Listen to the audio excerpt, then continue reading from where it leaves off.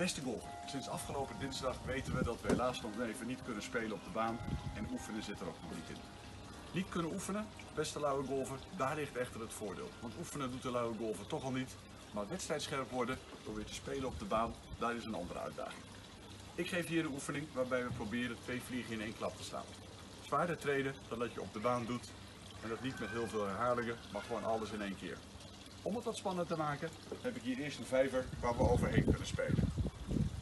Nog wat spannender maken, dan vraag je je lievelingskindje om te springen op de trampoline en dan ga je mikken over de vijver op het kindje. En als dat allemaal goed lukt, dan wordt het spelen op de baan een makkie. Ik zal eens kijken of ik het voor kan doen. Kind kan er wel eens doen. Veel succes ermee.